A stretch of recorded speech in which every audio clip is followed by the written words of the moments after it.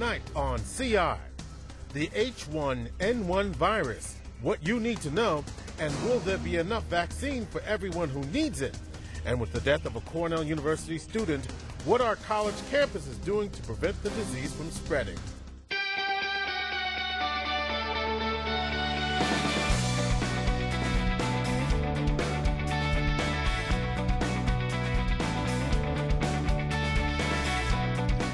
Welcome to Central Issues. I'm George Kilpatrick on this Friday night. Tonight, an in depth conversation about the H1N1 virus. Dr. Cynthia Morrow will be dropping by. Also, we'll tell you what Syracuse University and Lemoyne College are telling their students to do to be healthy.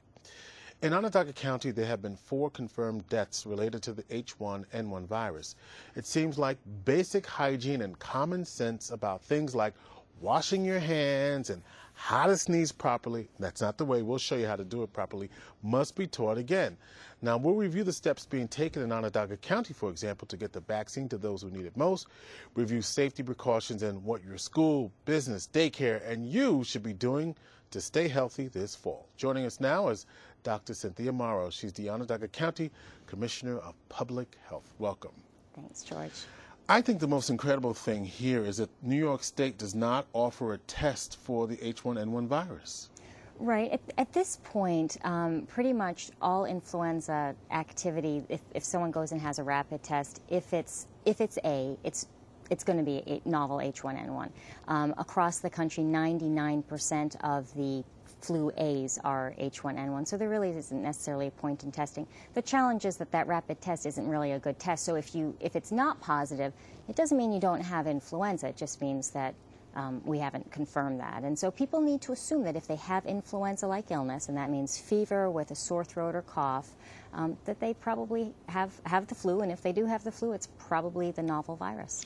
And you, now you're calling it the novel. We went from swine flu to novel virus to H1N1. What is what is why the difference? Well, it, it's confusing. There's a very long name associated with it. We got away from the term swine flu because people Peter in was different mad. Right? Peter, Peter was mad, but in, in different cultures, um, it was affecting the swine industry and, and pigs were being slaughtered, and it has nothing to do with pigs. And so they, they really wanted to get away from the idea that this was a swine flu. It's a human influenza.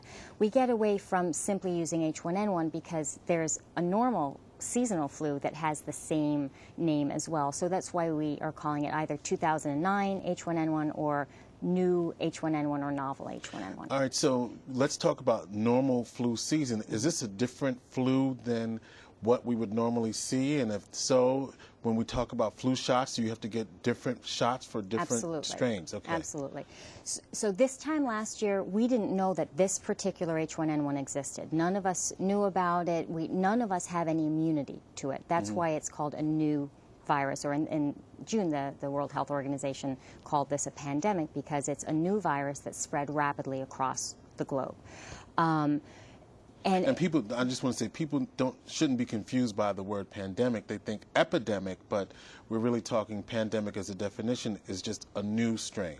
It's a new strain that spreads globally. Spreads globally, Right, okay. exactly. So in this case, seasonal flu, there are lots of different seasonal flu viruses. Um, this time next year, this will be just part of the seasonal flu by, by all probability. So, but, but this year, because none of us has immunity towards it and because it's a new virus, um, we do have to have a, a new vaccine for it. We didn't have this virus around when they made this year's vaccine, and so that's why, unfortunately, we're going to have to have two shots. And this vac- this virus has been around for most of the summer, which is very different Very than different. anything else we've seen. Right. If, if you look at what we call the epi curve, the, the curve of disease activity, we have the traditional curve in February and March, and then there's a small blip in uh, May and June, and that's where in Onondaga County we started seeing a lot more flu cases. Then it's kind of quiet for July and August. Unfortunately, um, in the last couple of weeks across the country, flu activity has really gone up dramatically. We've seen, you know, the outbreak on Cornell. I mean, they have reported uh, 600 people going through their uh, health clinic, and you know, we'll- we'll, hear from some of the other colleges and universities. Uh, this is a big deal, and the schools back in session.